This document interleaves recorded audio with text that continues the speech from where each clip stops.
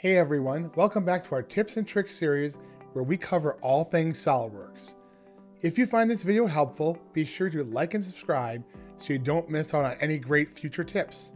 Today, we're going to show you how to customize your BOM with filters.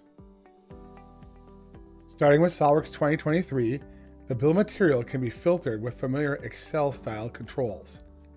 Icons in the table header indicate where filters are applied and they can be removed just as easily.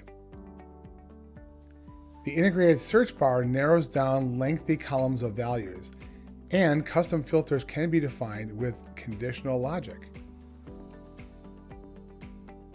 Say you need a custom bill of material like a parts list of purchased hardware. That's no problem. You can combine filter criteria across multiple columns to get just the information you're looking for. It's really that easy.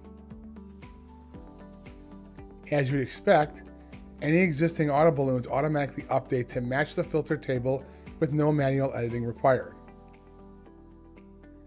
The resulting table can be saved to a variety of common formats so you can create and share these tables on the fly anytime you want.